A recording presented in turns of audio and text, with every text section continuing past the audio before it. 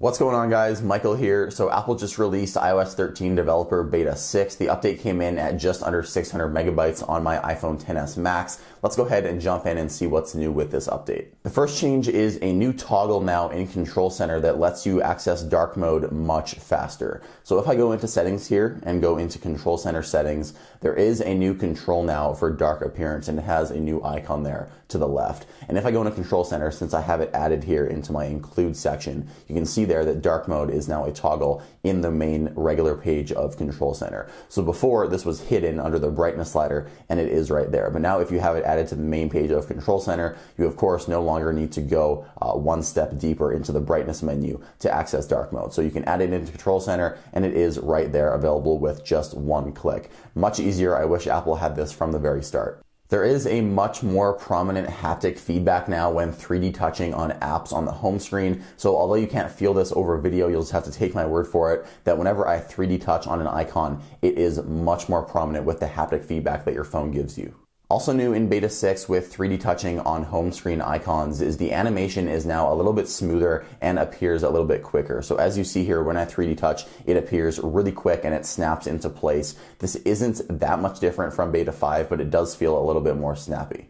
There also is a small improvement with context menus. So if I go here into the music application and I want to do a 3D touch on one of my songs here, you can see it comes up a lot faster. Before, the iPhone would sense the 3D touch, it would give you the haptic feedback, and then this page would slide up. But now the haptic touch and the context menu now come up at the exact same time. So this is much faster and much more fluid with iOS 13 Beta 6. This is kind of a strange bug on Beta 6, but when you go to select a new wallpaper, there are no options for dynamic wallpapers in Beta 6. As you can see, the preview page is blank, and if I click on it, all of the actual dynamic wallpapers should be there there. As soon as you click on it, they do show up, but the previews are completely blank. You can set these as your wallpapers, as you can see there, but you will have to click on each one to guess what the color will be, just because the preview isn't working right now on beta 6. So if you guys remember my last video I just uploaded, I showed you how you could turn on dark mode with a really quick accessibility shortcut setting, and that has actually been removed now in beta 6,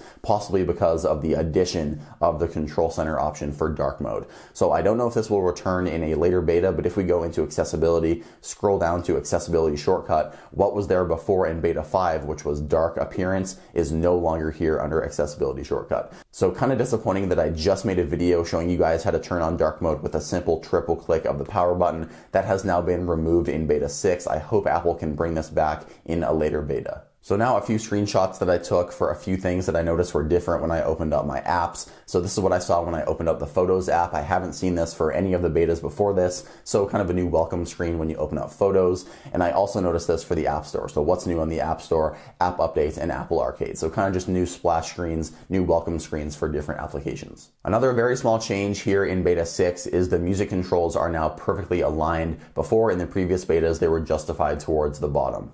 So I was just about to wrap up this video and I noticed that my folders on my home screen looked a little bit different. So I went and checked online and apparently new in beta 6 is your folders now respond to what wallpaper you have on your phone and what wallpaper is behind the folder instead of simply whether you have dark mode or light mode turned on. So for example, before in the previous betas, your folders would look black or white if your phone was in dark mode or light mode. But now as you can see, they respond more fluidly to the wallpaper that you have set on your home screen. So a very very small change, but the attention to detail is very nice. So I also found this on Reddit. A Reddit user is claiming that there are new shortcut actions in developer beta 6. Uh, these were actually there in a previous beta, but what it looks like has changed are the icons next to these shortcuts. So you have some actions uh, to turn on your Apple TV, sleep your Apple TV in the shortcuts application. These icons have now changed very slightly.